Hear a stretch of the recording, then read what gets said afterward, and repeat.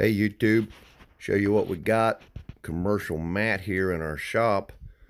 This comes out of a pediatrician's office. Uh, sets in his waiting room so his chairs can sit on it and catch all the various kid droppings. But you can see here looking off to the right side, that whitish light color side is salt residue, ice melt from the winter. So we're going to work on getting that all out and getting that cleaned up for him. So let's get set up here and get going. Okay guys, I got my pre-spray down.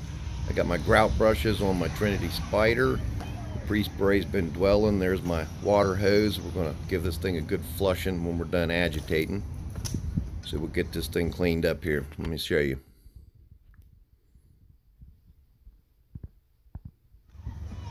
Looks like we better hurry today too. We're gonna get wet. So let's uh, use the Trinity and we'll uh, agitate this pre-spray. Blowing now for about 15 20 minutes.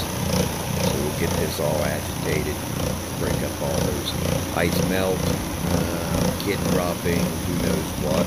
Just get it all worked out of there. We'll give it a good flushing. After that, we'll follow up with an end cap and uh, we'll be good to go on this one.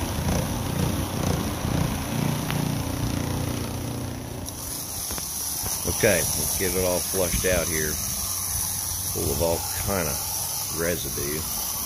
My pre-spray will be some of it, but I did a good job cutting that ice melt.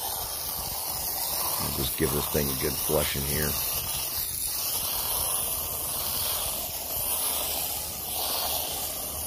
Lots of soapy residue. We'll give it a good flushing with the water hose. We're going to agitate it one more time with the Trinity.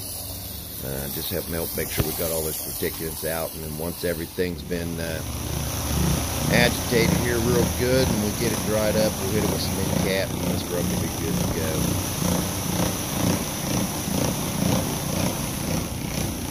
Gotta love the drippings. Lots of agitation in this industrial man.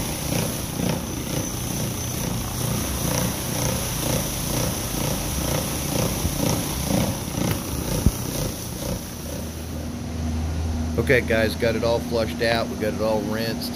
It's now face down on our pallets. We've got our air mover set up. Get this thing dry. Once we're all dry guys, we'll uh, go over it one time with an encap, give it a good vacuuming and get it back to our client. All right, thanks for watching.